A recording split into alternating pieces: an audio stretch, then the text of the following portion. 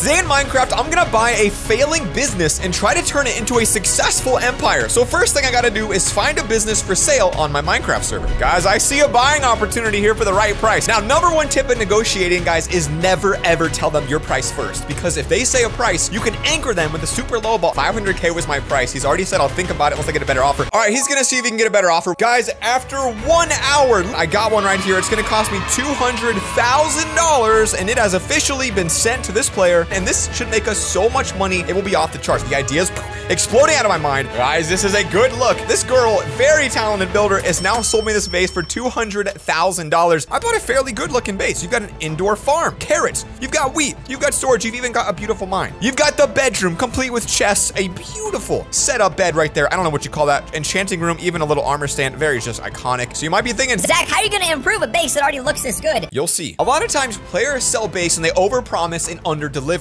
That is the opposite of what you want to be doing. And so today our plan is to underpromise and overdeliver by saying that we're going to be selling a base that we located right here. But what players won't know is that there is an entire secret base underground.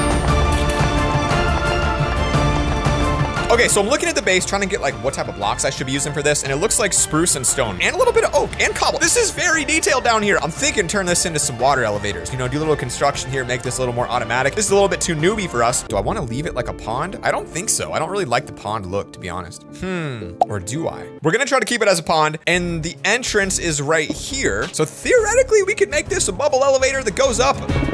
So I've got to drain the entire thing to then just fill it back up. That's kind of where we're at right now to get this thing to work correctly. All right, there we go. A successful bubble elevator. Now, I don't have a way down yet, but I'm not a fan of the elevators that take you down. I'm actually a fan of just jumping into a hole because it's a lot faster. So make a hole that is right Here, right here. no, right here. Yes, right here. This it seems like as good of a spot as any to have a giant hole in the ground. So Oh my goodness, I just guessed and I got a perfect central drop right here. You can't make that up. Okay, you really forget how expensive slime balls are on their server, but it's gonna be worth it. We now got the easy way in and out. I think that's already a massive improvement off of what we had. So let's go ahead and block clutch it. Oh, and we do. And that's how you get inside. Does it work on carpet? Oh, and it does. I'm trying not to get too crazy, but this is what I'm gonna do, all right? I'm just gonna go with my gut and it says, Make a glass floor on top of the water here. That way you can look down and kind of see like a little bit of an aquarium. Just work with nature here, guys. Don't fight against it. There we go. Look at that. So that is our floor pattern for the top room. By a little bit of spruce wood, and by a little, I mean uh, an immense number of it. To be honest, we need like fat stacks of it. So maybe we'll do like a little something like this. A little bit of like a circle around it to say, hey, this is where you jump down. This is where you get to the second. Ah, I didn't mean to do that. Say, hey, this is where you get to the second floor where all the magic happens. Eventually, I do want to change out the whole column, make it look better. And then around it is where we can now take all of our spruce and start filling it in.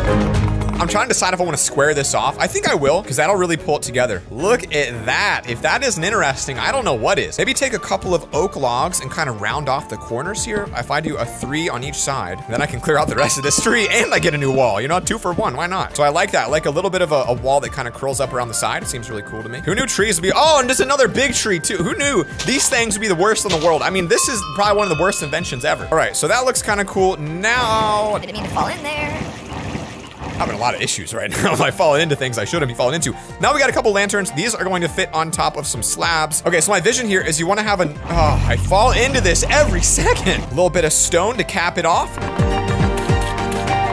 That's a pretty darn grand window right there when you walk into the base. You got the elevators here. I don't know if it's gonna be annoying to people that it's off center, but like it is organic in a way. I'm integrating the natural landscape, uh, except that floating tree right there. Maybe we take care of that real quick. That's gonna, it's gonna trigger some of you guys and I know it will, so you're welcome. Now, I also think it might look cool to, uh, I keep falling.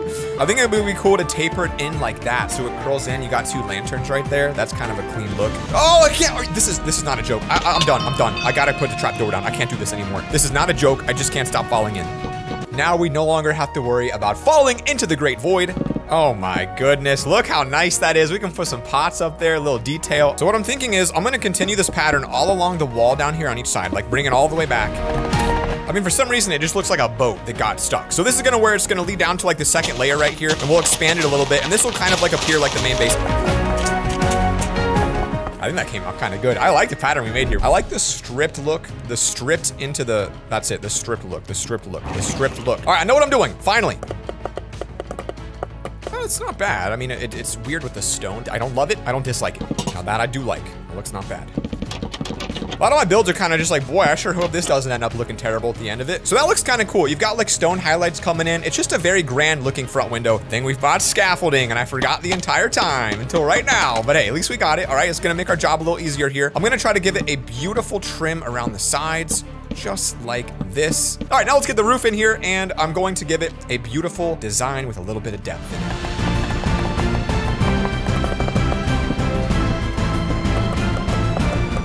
I'm about to die from building the space. Oh, I'm still alive. Lovely. I thought I thought that was the end right there. Mm. Mm. Mm. Come on. What the heck? Are they gonna make me do this? Now that is a pretty darn good looking main room right there. What I don't like though is that you can't really see out of these windows. Usefulness wise, they don't really have a lot of it. So I was thinking like I could add like some staircases that lead you up, but that sounds kind of tacky. We made such a good buy with this base. I mean, downstairs really pulls it together. I feel like the upstairs might even be costing us a little bit because it looks so much worse than what this original player's designed. All right, I think that looks kind of good, to be honest with you. You still can't see out the windows, but I think once it turns the daytime, you got that sunrise centered right there. It's gonna look really good in the house. We've got to figure out what this back area is gonna be. And like my first thought was we could make it an outdoor patio or something because it already kind of has that vibe. The problem is, is that this is a giant door and it wouldn't make sense to do that. Let me sit down one second. Gotta switch it up every now and then. Oh, there it is. Nope, bring it down, bring it down. No, no, no, no, no, down, please. Oh, there it goes. Feels great to sit again. Look at that sunrise. That is the million dollar view that we're after right there. If that doesn't look like it's about to make a lot of cash, I don't know what will. Honestly, take a minute. Make that your phone background because that is why I gotta be why I gotta be doing that right now, all right? That's a little bit too much. I'm, I'm, I'm working here. You can't be thundering on me.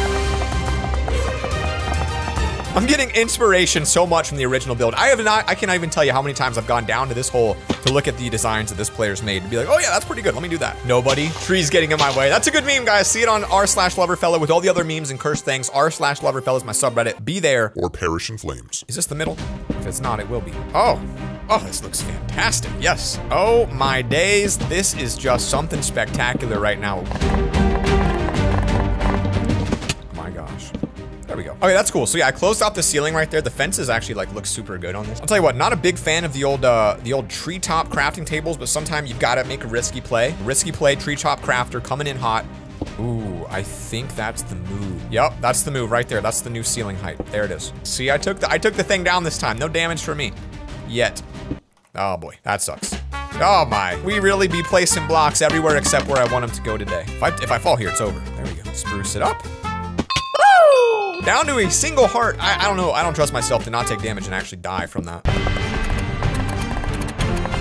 So I'm gonna give these little slots like some sort of like alternative use. Oh, got the idea already. Zach, you're a genius. Thank you. So I think that'll look kind of cool and tie it together. And then to make this look better, we need a better form of lighting. Look at that piece of oak. Got him. It's a crafting table. See that guy's little, little trickery right there. Played a joke on you. Got him. Little joke action. Oh, this looks pretty good. So maybe we'll do like some bars down here and just give this like a nice, good old fashioned, like just kind of just a good feel to it. You know, something like that. Who the heck is this? What's a random dude here? Some random dude just got into my base. I'm not sure how. It's kind of confusing to me. I'll just point out I'm not sure who that is.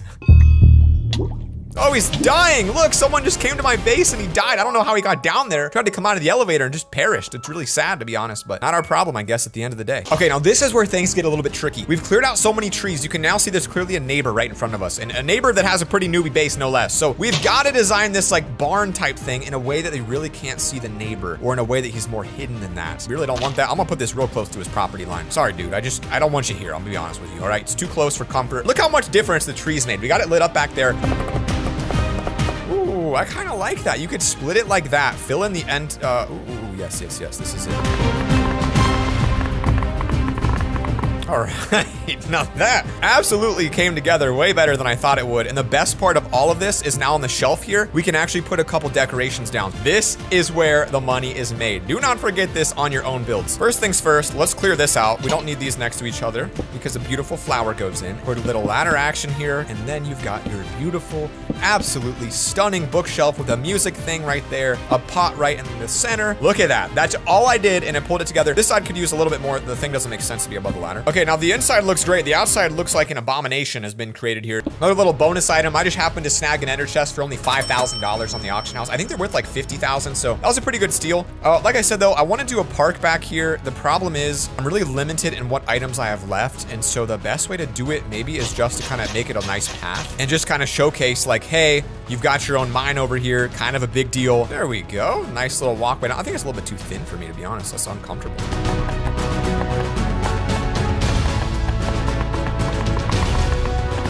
I just wanted to give them just a little bit of something, maybe to make it like their own little tiny crafting area or something down here. Okay, that is awesome. I love what we've done over here. I love the path we're creating. Maybe just give them like access to their neighbor as well. Maybe they'll end up becoming friends. We don't know that they'll hate it. Oh, there it is. The bone meal is pulling it together. And then a couple of flower pots along the way, just so you have just a little bit more lighting. Let's fix this wall though. This thing's kind of nasty. Wow, I, actually feel like, I feel like this thing looks pretty fire right now. This is really aesthetic. Like this thing should pull a big profit. And I hope it does because we put a lot of money into it. A lot of love, a lot of heart, a lot of passion. So this thing better come out and pull us some money.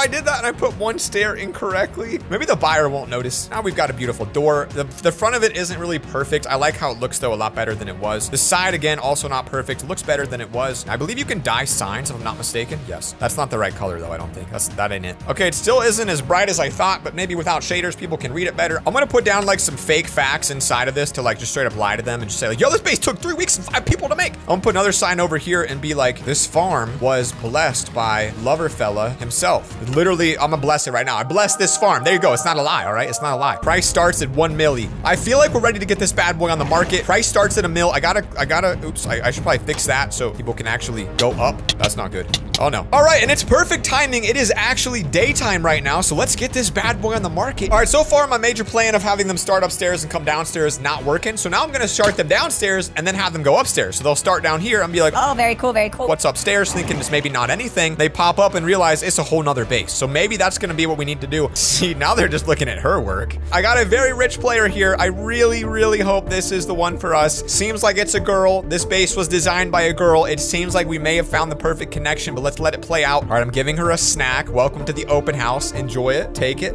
Come on, Sarah. Come on, Sarah. Okay, she thinks she noticed there's a neighbor. I don't like that. I don't like that. I need this to work. Please, Sarah, be the one that buys it, please. She seems interested. She's been here for like probably five minutes. She said, how much you ask? And I said, a million, but open for negotiation. Like I said, guys, you got to anchor high. She said, was lover fella here? I said he was, so prove it in a week or so. He did bless it. This could be good. This could be good. The blessing strategy works. I just got to bless my builds when I sell it. Price will triple, I think. I'm just like, I don't know, man. I'm just trying to get the sale out here. She said 650. I hit her with 750. That would be almost a 4x profit. That is actually a legit massive sale. 700. Whoa, whoa, whoa, Sarah. I said 750. I'll just say thanks. I'm happy with it. Okay, thank you. That's a pretty solid deal there. Drop a comment down below with your idea on how I can make money next. And I'll put you in the video if we use your idea. Peace.